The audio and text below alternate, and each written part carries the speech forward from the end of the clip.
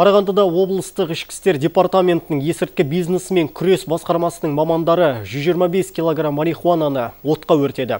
Аса ірі көлемде есірткі сақтаған үшін күдікті азаматтың үстінен қылмыстық іс қозғалып, сотқа дейінгі тергеу шаралары жүргізіліп жатыр. Мамандар соңғы уақытта Қарағанды аумағында ірі мөлшерде есірткі сақтау және сату фактілерінің күрт көбейгендігін айтады.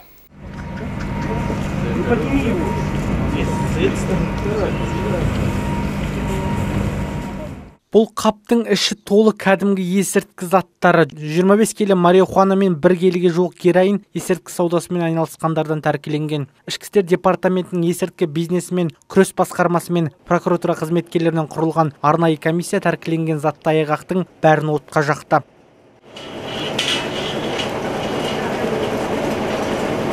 камеру и глаза аккуратнее.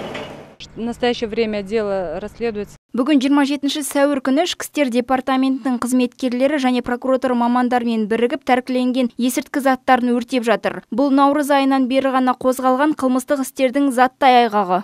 Ішкі істер саласының мамандары жылына тонналап есірткі заттарын жол жақта заңсыз әрекетті кәсіп қылғандардың саны азаяр емес дейді. Тіпті шетелден ғана тасымалданатын есірткі заттарын қазір қарағандыда өсіретін болған. Оған тағы бір мысал күні кеше ғана теміртау қаласының 29 және 45 жастағы екі азаматының үйі мен көлік тұрағын тексеру барысында 13 қап марихуана табылған. Барлық тәркіленген есірткі заттары 200 келіден асқан. Облыстық ішкі істер департаменті ұйымдасқан қылмысқа қарсы күрес басқармасы қызметкерлерімен жедел іздестіру іс шаралары барысында теміртау қаласының 29 және 45 жастағы екі азаматы анықталып ұсталды.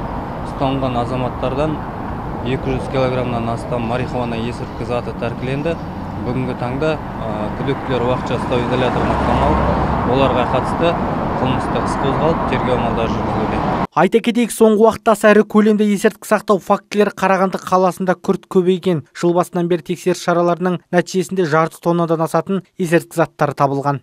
Жанайдар мәкен жасұлан мақұлбеков дастан шанин бірінші қарағанды телеарнасы.